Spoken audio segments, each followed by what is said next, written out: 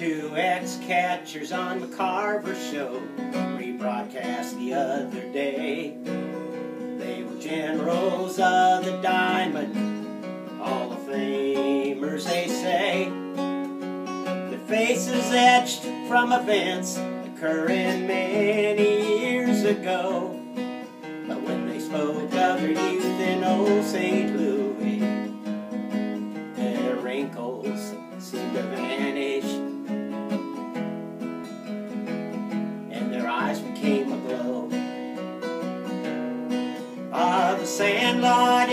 Hill, dodging cars in the street, as baseballs were hit beyond the leather gloves reach when the 430 whistle from the Laclede factory blew.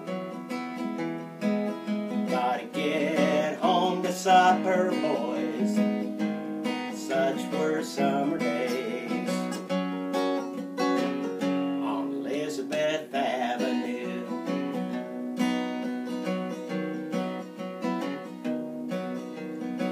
Up in the morning, gather up the gang of jerseys, bats, and ball. Tear up the box, make bases from the pieces. A daily ritual until fall. Grab the bat handle, be the last to reach the knob. Choose up teams and start playing.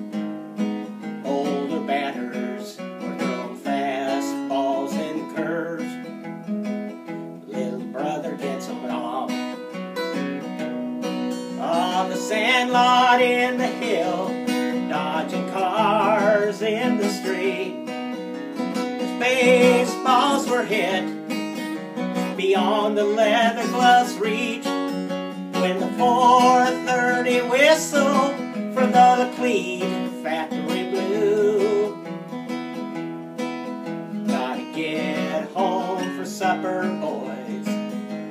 Such were summer days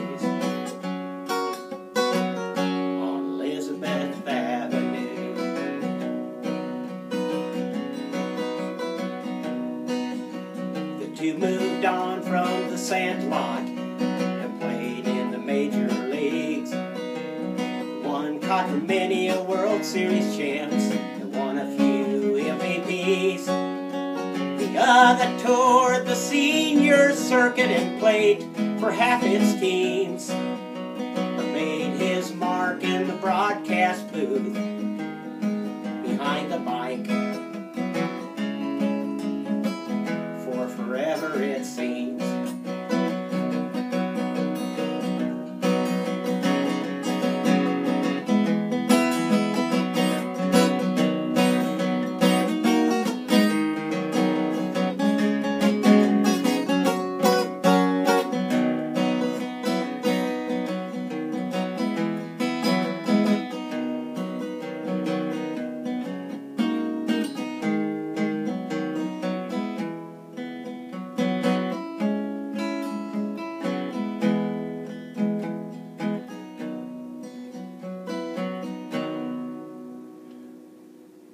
But one left this earth this past fall, and the other this past spring. Walking arm in arm to the pearly gates, met St. Peter decked in wings. Then the gates were flung open to reveal a heavenly view. It was a ball game on the sandlot in the hill.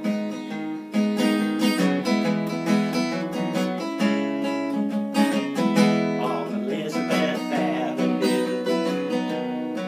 On the sandlot in the hill. Dodging cars in the street. As baseballs were hit beyond the leather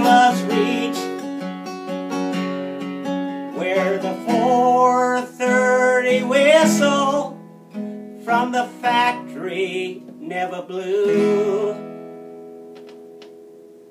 Cause it ain't over till it's over. Such was heaven. And Elizabeth